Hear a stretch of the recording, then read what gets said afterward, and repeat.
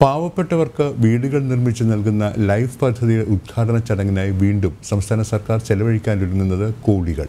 ഈ മാസം ഇരുപത്തിയെട്ടിനാണ് മുഖ്യമന്ത്രി രണ്ടര ലക്ഷം വീടുകളുടെ പൂർത്തീകരണ പ്രഖ്യാപനം നടത്തുക. പ്രഖ്യാപനത്തോടനുബന്ധിച്ച് തദ്ദേശ സ്ഥാപനങ്ങൾക്ക് പതിനായിരം രൂപ മുതൽ അൻപതിനായിരം രൂപ വരെ ചെലവഴിക്കാൻ സർക്കാർ അനുമതി നൽകി. ജനം ബ്രേക്കിംഗ്. നിയമസഭാ തെരഞ്ഞെടുപ്പിന് രണ്ട് മാസം മാത്രം ശേഷിക്കെ കോടികൾ ചെലവഴിച്ചുള്ള പ്രചരണം സംസ്ഥാന സർക്കാർ തുടരുകയാണ്. പാവപ്പെട്ടവർക്ക് വീട് വെച്ച് നൽകുന്ന ലൈഫ് പദ്ധതിയുടെ ഉദ്ഘാടന ചടങ്ങിനായും സർക്കാർ ചെലവഴിക്കുന്നത് മൂന്ന് കോടി രൂപയ്ക്കടുത്ത്.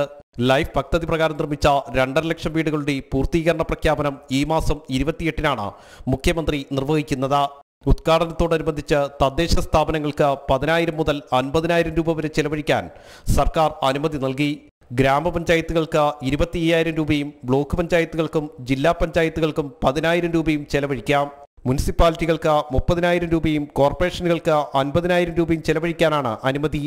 തദ്ദേശ സ്ഥാപനങ്ങളുടെ ആകെ എണ്ണം കണക്കാക്കിയാൽ ഏകദേശം മൂന്ന് കോടി രൂപയ്ക്കടുത്ത് ഉദ്ഘാടനം കൊഴിപ്പിക്കാൻ വേണ്ടിവരും. ലൈഫ് പദ്ധതിയിൽ കൂടുതൽ തുകയും ചെലവഴിക്കുന്നത് കേന്ദ്ര സർക്കാരാണെന്നിരിക്കെയാണ് സർക്കാർ സ്വന്തം നേട്ടമായി പദ്ധതി അവതരിപ്പിക്കുന്നത്.